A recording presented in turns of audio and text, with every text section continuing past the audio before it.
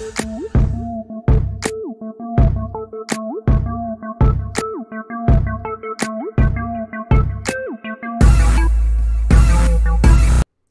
everybody, and welcome to Free Source Reporting. My name is Kyle Miller.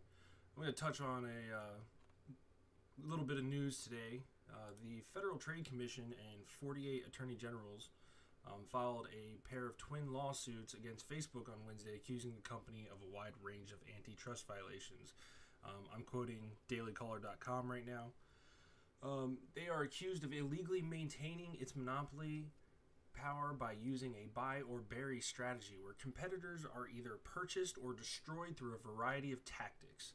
The lawsuits point to Facebook's acquisition of WhatsApp and Instagram as solidifying the company's dominance. By effectively eliminating competition, Facebook is able to exercise significant control over what content users see and how personal information is collected, the lawsuit alleges. Both lawsuits point to Facebook's profitable model of using personal data to sell advertising. The company is able to exploit personal information solely to further its business interests without worrying about the interests of the users. The suit claims they also allegedly deprive advertisers of the opportunity to purchase advertisements at a lower cost by maintaining their monopoly. Jennifer Newstead, Vice President and General Counsel at Facebook, called the lawsuits revisionist history. Antitrust laws exist to protect consumers and promote innovation, not to punish successful businesses, Newstead told the Daily Caller in a statement. Instagram and WhatsApp became the incredible products they are today because Facebook invested billions of dollars in years of innovation and expertise to develop new features and better experiences for the millions who enjoy those products. The most important fact in this case, which the Commission does not mention in its 53 page complaint, is that it cleared these acquisitions years ago. Newstead continued. The government now wants a do over, sending a chilling warning to American business that no sale is ever final. People and small businesses don't choose to use Facebook's free services and advertising because they have to. They use them because our apps and services deliver the most value.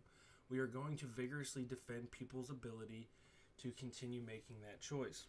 The lawsuit was filed by 48 attorney generals and represents 47 states and the territory of Guam, which are all led by the state of New York. Both suits were filed in the United States District Court for the District of Columbia. There's a quote For nearly a decade, Facebook has used its dominance and monopoly power to crush smaller rivals and snuff out competition, all at the expense of everyday users. New York Attorney, Attorney General Letitia James said in a press release. Today, we are taking action to stand up for the millions of consumers and many small businesses that have been harmed by Facebook's illegal behavior. A variety of requests for relief were laid out by state and federal officials in the lawsuits, including divestiture or reconstruction of businesses such as Instagram and WhatsApp as necessary to restore competition. They also request that Facebook have prior notice and approval for mergers and acquisitions and periodically submit compliance reports to the FTC. Now, again, this is on the Daily Caller. And the reason I wanted to read this real quick is um, as much as I hate Facebook as a corporation and I hate its actions, I hate how they silence dissenting opinions and remove content that they deem to be, you know, uh, not following the line with their community standards, but somehow their community standards are okay with things like pedophilia and human child trafficking. Um, but I'm going to have to say that I'm kind of on Facebook's side right here because you can't be using antitrust laws that are to break up monopolies when you're dealing with a company that exists really solely on the internet. Um, there's nothing stopping any person with you know a little bit of money to start their own social media. Um, all you need is some server space WordPress and a couple plugins, and, and I mean you can have basically a simple like MySpace type setup. Um, so there's there's nothing stopping people from creating alternatives like Parler, Gab, and other other social media websites. So how do you then declare that they're violating antitrust laws? Yes, they bought up two other social media companies. But did that did they buy out all of their competition? No, they did not. Um, and even if they did buy out all of their competition, any web developer, programmer with just a little bit of money could start a new one up the next day. The same people that they bought it from, unless it was in their contract, could start a new social media project the very next day after sale of one of their social media projects to another. So it, I really hate to side with Facebook, but this lawsuit is absolute garbage. Um, you know, this isn't this isn't an oil company buying up all these small oil companies and then becoming the only dominant oil company and raising its prices because it, it has become an, a monopoly. Um, it's not you know, forcing uh, people. Facebook isn't forcing people to work for low wages or else they get fired because they're the only company in that field. Um, it, it's just it, it's absolutely ridiculous, and uh, I just wanted to bring that up. Um, it's my opinion on it, and which actually surprises me because I, I have very many uh, issues with Facebook and how they handle their platform and how they treat their users. Um, and how they do use it to manipulate politically, socially.